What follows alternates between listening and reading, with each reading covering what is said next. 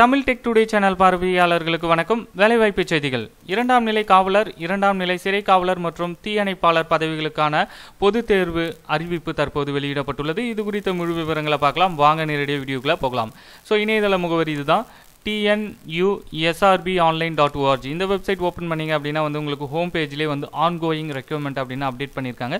So இங்கே links வந்து உங்களுக்கு கொடுத்துருக்காங்க. நோட்டிஃபிகேஷன் லிங்க்கு அதுக்கப்புறம் இன்ஸ்ட்ரக்ஷன் லிங்க்கு ஸோ இதை கிளிக் பண்ணீங்க அப்படின்னா தனியாக வந்து ஒரு பிடிஎஃப் வந்து ஓப்பன் ஆகும். ஸோ இதில் வந்து இன்ஸ்ட்ரக்ஷன்ஸ் வந்து டீட்டெயிலாக கொடுத்துருக்காங்க.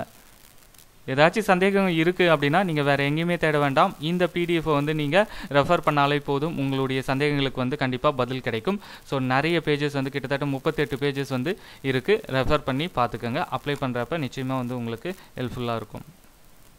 ஓகே அடுத்து நோட்டிஃபிகேஷன் இதை கிளிக் பண்ணிங்க அப்படின்னா இந்த பிடிஎஃப் வந்து ஓப்பன் ஆகும். மொத்தம் எவ்வளோ வேகன்சி இருக்குது கம்ப்ளீட் டீட்டெயில் வந்து இங்கே உங்களுக்கு கொடுத்துருக்காங்க. இரண்டாம் நிலை காவலர்.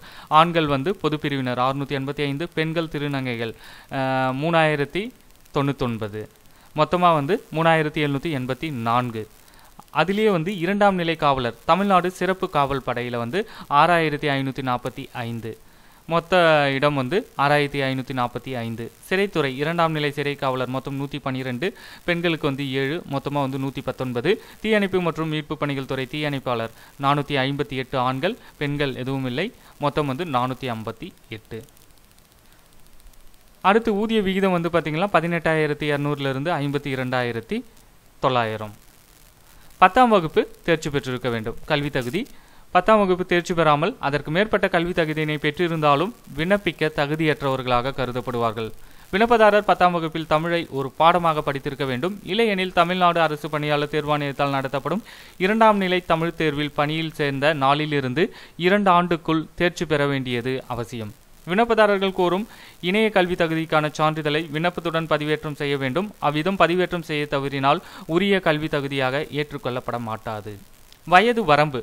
விண்ணப்பதாரர்கள் ஒன்று ஏழு இரண்டாயிரத்தி இருபது அன்று பதினெட்டு வயது பூர்த்தியடைந்தவர்களாகவும் இருபத்தி நான்கு வயதுக்கு மேற்படாதவராகவும் இருப்பது அவசியம். ஒன்று ஏழு இரண்டாயிரத்தி இரண்டாயிரத்தி இரண்டு அன்று அல்லது அதற்கு முன்னர் பிறந்தவராகவோ ஒன்று ஏழு ஆயிரத்தி தொள்ளாயிரத்தி தொண்ணூற்றி ஆறு அன்று அல்லது அதற்கு பின்னர் பிறந்தவராக இருக்க வேண்டும். சில பிரிவினருக்கு அதிகபட்ச வயது வரம்பு கீழ்க்கண்டவாறு அளிக்கப்பட்டுள்ளது. இதெல்லாம் வந்து பார்த்துக்குங்க.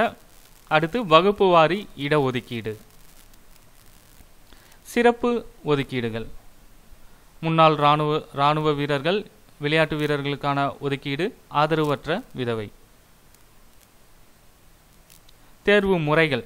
எழுத்து தேர்வு உடற்கூறு அளத்தல் உடல் தகுதி தேர்வு உடற்திறன் போட்டிகள் சிறப்பு மதிப்பெண்கள். மொத்தம் வந்து உங்களுக்கு நூறு மதிப்பெண்கள் வந்து வழங்குறாங்க. ஸோ இந்த மதிப்பெண்கள் அடிப்படையில் உங்களுக்கு வந்து இந்த வேலைவாய்ப்பு கிடைக்கும். எழுத்து தேர்வில் வந்து எழுத்து தேர்வு பற்றிய தகவலை வந்து இங்கே உங்களுக்கு கொடுத்துருக்காங்க. ஸோ இதை வந்து படித்து தெரிஞ்சுக்கோங்க. உடற்கூறு அளத்தல் உடல் தகுதி தேர்வு உடற்திறன் போட்டிகள் ஸோ இதை பற்றின டீட்டெயில்ஸ் எல்லாம் வந்து உங்களுக்கு கொடுத்துருக்காங்க. என்னென்ன போட்டிகள்லாம் நடத்துவாங்க அப்படின்றதையும் வந்து உங்களுக்கு இங்கே மென்ஷன் பண்ணியிருக்காங்க தெளிவாக ஸோ பார்த்து தெரிஞ்சுக்கோங்க. ஸோ இந்த ப்ராசஸ் எல்லாம் உடல் இந்த தேர்வுகள்லாம் முடிஞ்சதுக்கு பிறகு அசல் சான்றிதழ்கள் சரிபார்த்தல் பணி நடைபெறும். அடுத்து தற்காலிக தேர்வு அடுத்து மருத்துவ பரிசோதனை மற்றும் முந்தைய பழக்க வழக்கங்கள் மற்றும் குணநலன்கள் குறித்த விசாரணை. இந்த விஷயங்கள் எல்லாம் நடக்கும்.